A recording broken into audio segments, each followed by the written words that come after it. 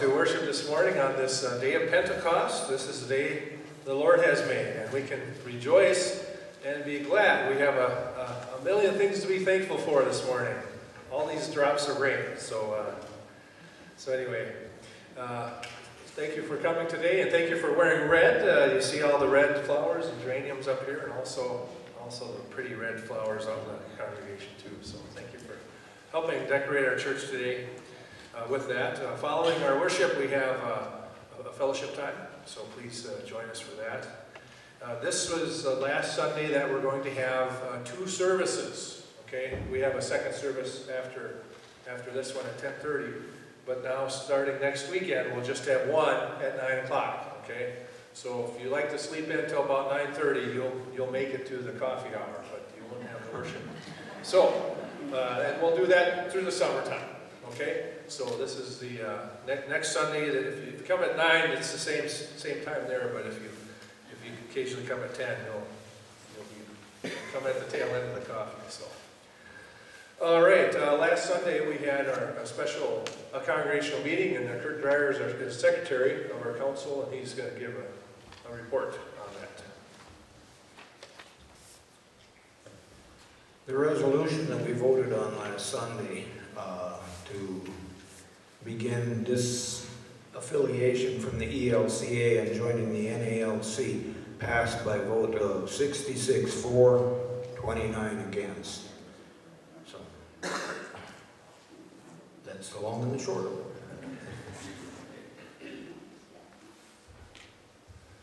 Okay, thank you, Kurt. Uh, We'll continue now with our worship, so please stand as we sing together our invocation.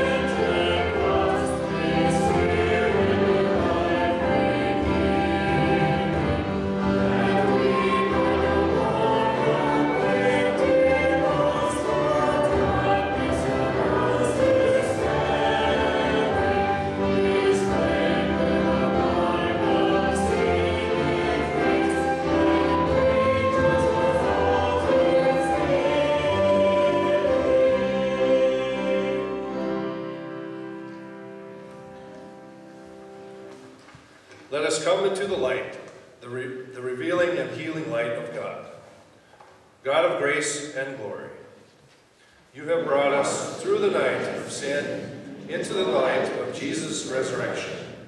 Yet our lives are still shadowed by sin. Make us alive in Jesus Christ, Heavenly Father. Make us new as you make all things new. Rescue us from evil and the gloom of sin. Renew us in grace and restore us to living in your holiness. Through your Son, Jesus Christ, our risen Lord. Amen. Rejoice around our Heavenly Father's throne. The light of the risen Christ puts to flight all evil deeds, washes away sin, restores the fallen, casts out fear, brings peace, and humbles earthly pride. Jesus Christ loves you and has freed you from your sins by his blood. To those who believe in Jesus Christ, he gives them the power to become children of God and bestows on them the Holy Spirit. Amen. Our of mercy.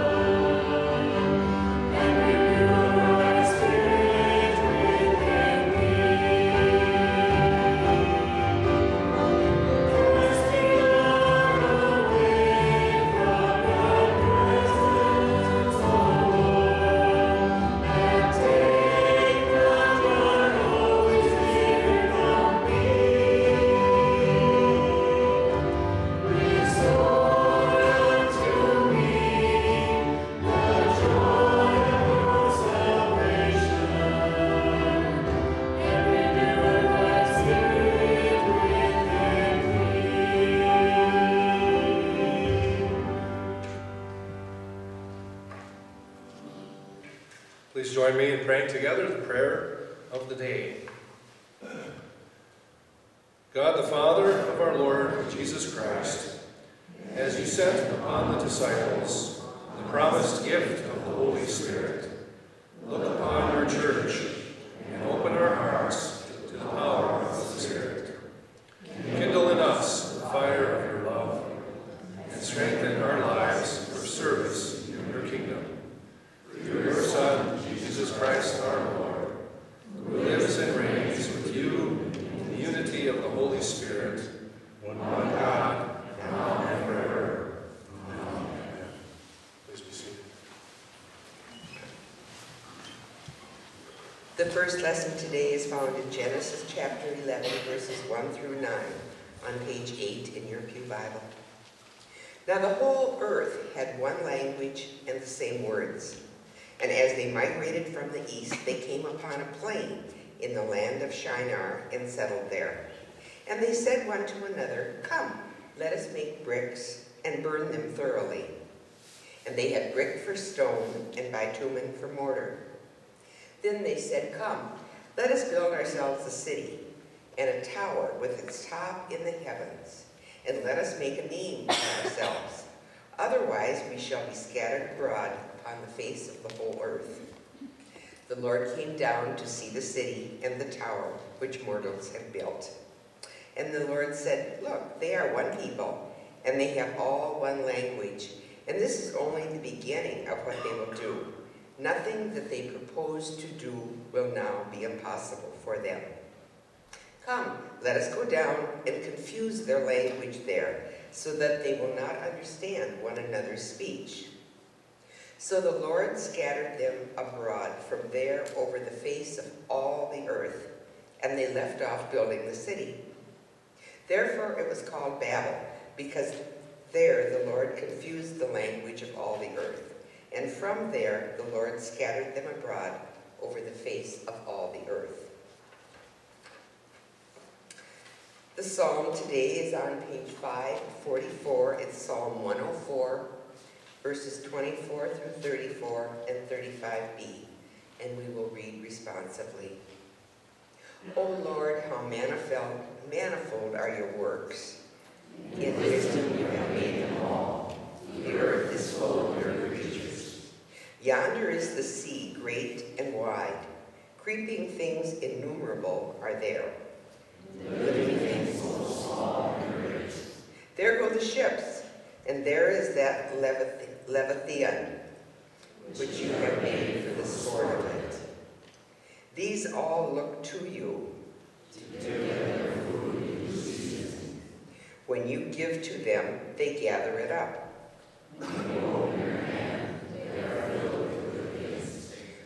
Hide their, your face, they are dismayed.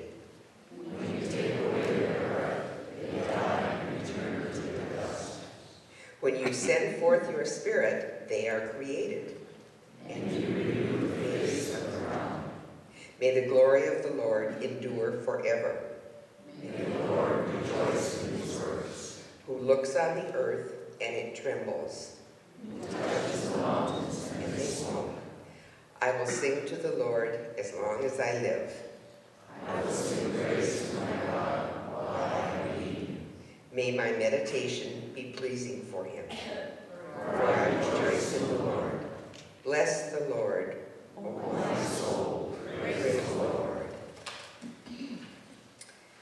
The second lesson today is on page 992. It's Acts chapter 2, verses 1 through 21.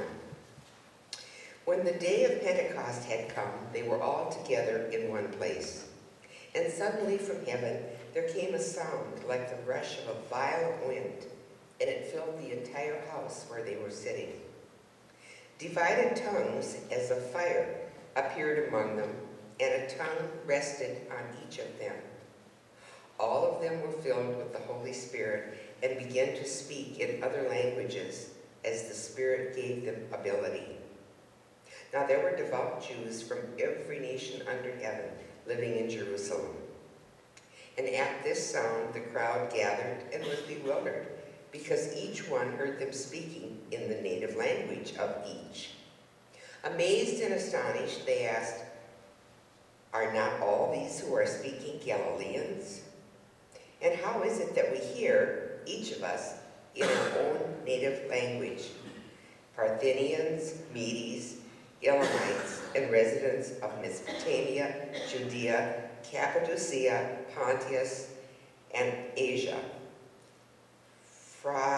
Phrygia and Pamphylia, Egypt, and the parts of Libya belonging to Cyrene, and visitors from Rome, both Jews and proselytes, Cretans and Arabs. In their own languages, we hear them speaking about God's deeds of power. All were amazed and perplexed, saying to one another, What does this mean?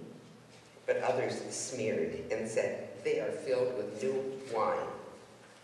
But Peter, standing with the eleven, raised his voice and addressed us, addressed them.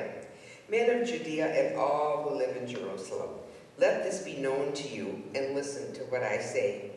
Indeed, these are not drunk, as you suppose, for it is only nine o'clock in the morning. No, this is what was spoken through the prophet Joel. In the last days it will be, God declares, that I will pour out my spirit upon all flesh, and your sons and your daughters shall prophesy, and your young men will see visions, and your old men shall dream dreams. Even upon my slaves, both men and women, in those days I will pour out my spirit, and they shall prophesy. I will show portents in the heavens above and signs on the earth below blood and fire and smoky mist. The sun shall be turned to darkness and the moon to blood before the coming of the Lord's great and glorious day. Then everyone who calls on the name of the Lord shall be saved. Please rise for the Alleluia.